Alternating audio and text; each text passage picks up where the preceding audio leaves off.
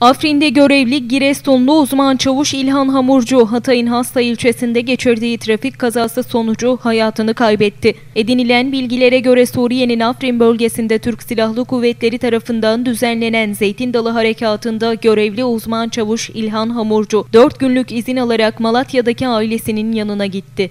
İznin ardından görev yerine dönerken Hatay'ın Hasta ilçesinde sabah saatlerinde trafik kazası sonucu hayatını kaybeden Hamurcu'nun cansız bedeni hastaneye kaldırılırken otopsinin ardından cenazesinin Giresun'un Yağlıdere ilçesine gönderileceği öğrenildi. Öte yandan Hamurcu'nun evli ve 3 çocuk babası olduğu öğrenildi.